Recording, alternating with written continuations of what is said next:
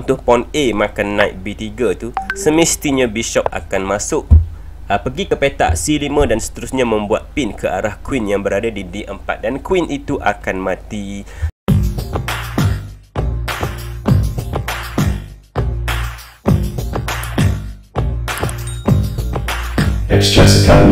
Assalamualaikum dan hai kepada semua pencatur.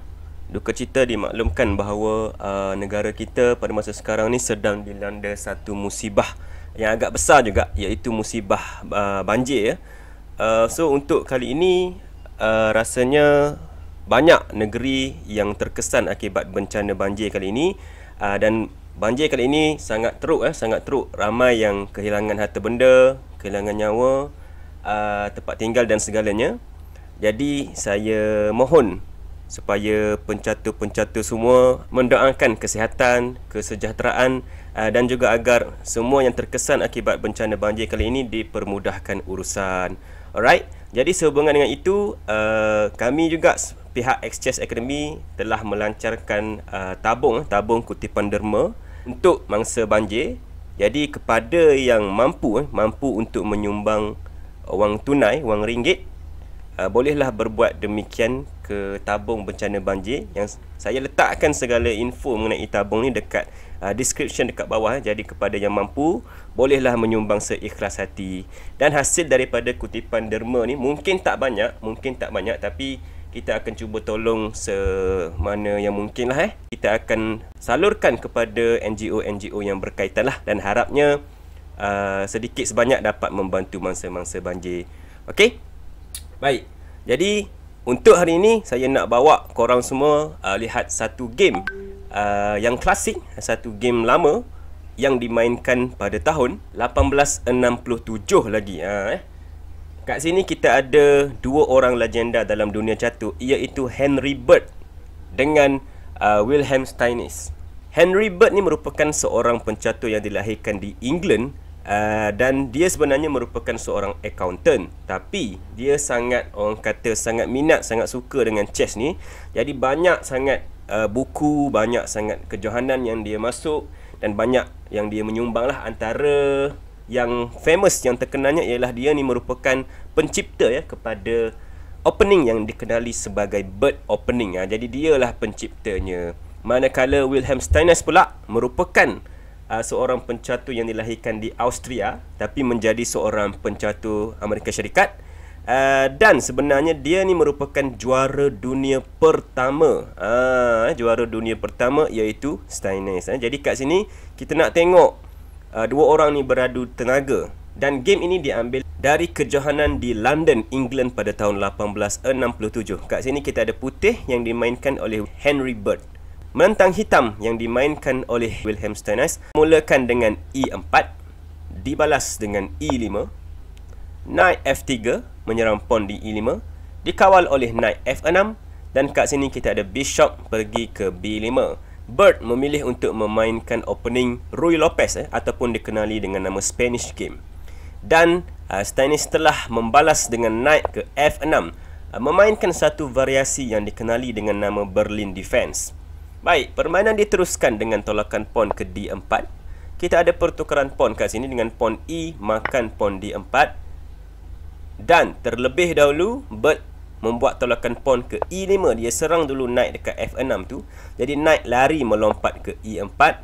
Dan barulah Bird makan pawn di D4 menggunakan knight. Eh. Jadi kita ada knight makan pawn D4 dekat sini. Seterusnya, Bishop E7. Kosong-kosong, castling oleh Bird. Dan kita ada pertukaran knight pula dengan knight makan knight D4 diikuti dengan queen makan knight D4. Seterusnya, knight C5 dimainkan dan kita ada F4.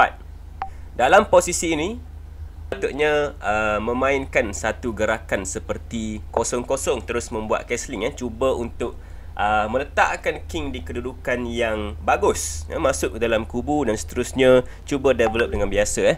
Namun kat sini selepas tolakan pawn ke F4 uh, dia memainkan satu gerakan B6 cuba untuk membuat trap ataupun perangkap yang kecil kat sini eh. Bird nampaknya tidak uh, menghiraukan perangkap yang ingin dibuat oleh Stannis kat sini jadi dia gerakkan pawn ke F5 dan seterusnya Stannis membuat apa yang dia nak buat tadi dengan gerakan naik pergi ke B3. Kenapa eh? Kenapa dia memberikan uh, naik yang percuma dekat B3 ni sebab kalau korang tengok kat sini, kalau kita makanlah contoh pawn A makan naik B3 tu, semestinya bishop akan masuk uh, pergi ke petak C5 dan seterusnya membuat pin ke arah queen yang berada di D4 dan queen itu akan mati. Jadi inilah perangkap kecil yang ingin dibuat oleh Steines eh. Uh, namun gerakan naik B3 ni adalah kurang baguslah. Kat sini, Bird menggerakkan queennya pergi ke E4 eh. Serang balas cuba untuk makan balik rook yang berada di A8 kat situ. Kita ada knight makan rook A1. Namun kat sini, Bird relax dulu. Dia kata dia tak nak makan lagi rook tu. Dia buat dulu serangan ke arah king dengan tolakan pawn ke F6 menyerang bishop. Semestinya ya, kalau pawn G makan pawn F6 ini adalah tidak bagus sebab pawn E boleh makan balik pawn F6 tu dan kita dapat tengok bishop di E7 tu sedang dipin oleh queen dan akan matilah. Alright, kita kembali ke sini. Jadi selepas tolakan pawn ke F6, bishop melarikan diri. Pergi ke C5 membuat check dulu. Memaksa king untuk pergi ke H1 dan dalam posisi ini kita ada gerakan rook ke B8 lari daripada ancaman queen tu dan seterusnya satu gerakan yang bagus telah dibuat oleh Henry Bird kat sini. Baik, korang boleh cuba pause video ni kat sini dan cari apakah gerakan tersebut. Silakan. Gerakan yang bagus yang menyerang kat sini ialah tolakan pawn ke E6 dan kita dapat tengok king hitam dalam bahaya. Inilah apa yang saya suka mengenai uh, game-game klasik eh, game-game lama. Uh, salah satu sebabnya ialah dia sangat bersifat menyerang. Uh, jadi kita akan nampaklah gerakan-gerakan cantik, eh, sacrifice dan sebagainya yang memang disukai oleh ramai pencatur lah. Ha. Okey, jadi kat sini ada beberapa gerakan yang boleh dibuat oleh Steines. Namun semua tu mungkin sia-sia. Eh. Baik, kita cuba tengok kat sini. Kalau hitam cuba untuk membuat castling kosong-kosong, ini uh, semestinya tak berjaya untuk menepis apa-apa serangan sebab putih boleh mainkan bishop ke D3 dengan ancaman untuk queen makan pawn di H7 dan membuat checkmate. Uh, ini memaksa pawn ke G6 untuk dimainkan. Kita boleh mainkan pawn ke E7 kat sini nampak membuat fork eh, ke arah uh, rook dan juga queen. Dan kalau queen lari ke E8, bishop boleh masuk ke h6 dan kita dapat tengok rook di f8 tu akan mati dan mungkin idea seperti queen untuk pergi ke h4 masuk ke h6 dan seterusnya membuat checkmate dekat g7 boleh dibuat king hitam sangat-sangat bahaya kat sini. Baik kita kembali ke sini eh. Selepas tolakan pawn ke e6 Kalaulah hitam cuba untuk makan pawn e6 tu contoh kita ada pawn f makan pawn e6 ini pun tidak bagus. Sebab ada checkmate yang boleh dibuat eh. Dengan gerakan queen boleh makan pawn e6 tu. Check. Memaksa king untuk lari ke f8 pawn f boleh makan pawn g7 sekali lagi check dan membuka uh, ruang rook kat situ.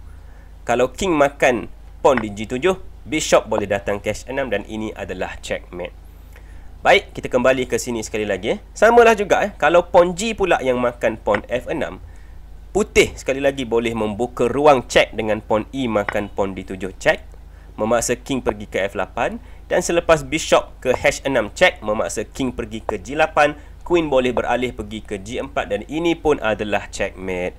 Jadi sebab itulah selepas tolakan pawn ke E6 ni, Steines cuba untuk defend cuba untuk bertahan dengan gerakan rook pergi ke G8 macam ni. Namun sama juga eh tak membuat apa-apa sebab bird terus membalas queen makan pawn H7 sambil mengancam untuk makan rook. Jadi rook lari ke F8. Kita ada pawn E makan pawn F7 kat situ check. Rook makan pawn F7 dan seterusnya rook E1 check. Kat sini hitam ataupun Stannis membuat blok eh dengan bishop pergi ke E7 blok. Kita ada queen G8 check. Ini merupakan checkmate dalam dua step. Memaksa rook untuk pergi ke f8 dan seterusnya. Satu gerakan yang brutal yang sangat-sangat menakutkan dengan tolakan pawn ke f7 membuat checkmate telah dibuat kat sini. Dan kita dapat tengok eh King Wilhelm Stannis uh, berada dalam uh, checkmate yang tidak disukai oleh uh, mana-mana pencatur lah. Iaitu di checkmate menggunakan satu pawn sahaja. Jadi ini adalah game uh, legenda yang saya nak tunjukkan kepada korang semua untuk hari ini eh alright Itu sahaja. Sekali lagi jangan lupa eh kepada uh, mana-mana pencatur yang bermurah hati nak menderma uh, wang ringgit eh. Kita ada buka tabung buat masa banjir. Jadi apa-apa info boleh tengok di description dekat bawah dan kita akan cuba untuk salurkan bantuan yang diberi uh, kepada mana-mana NGO yang berkaitan lah. Okey, diharapkan semuanya kembali pulih seperti biasa eh insya-Allah. Selain itu juga pada hari Sabtu ni kita akan adakan satu stream eh satu stream special uh, bertujuan untuk mengutip uh, dana uh, sambil lihat stream sambil main chess kita sambil sambil mengutip uh, bantuan untuk mangsa banjir. Jadi sama-sama boleh hadirkan diri pada hari Sabtu ni pukul 9 malam eh kita jumpa dekat sana. Baik, itu saja. Terima kasih kerana menonton. Silakan subscribe pada channel ini. Selamat bercatur. Assalamualaikum. Bye bye.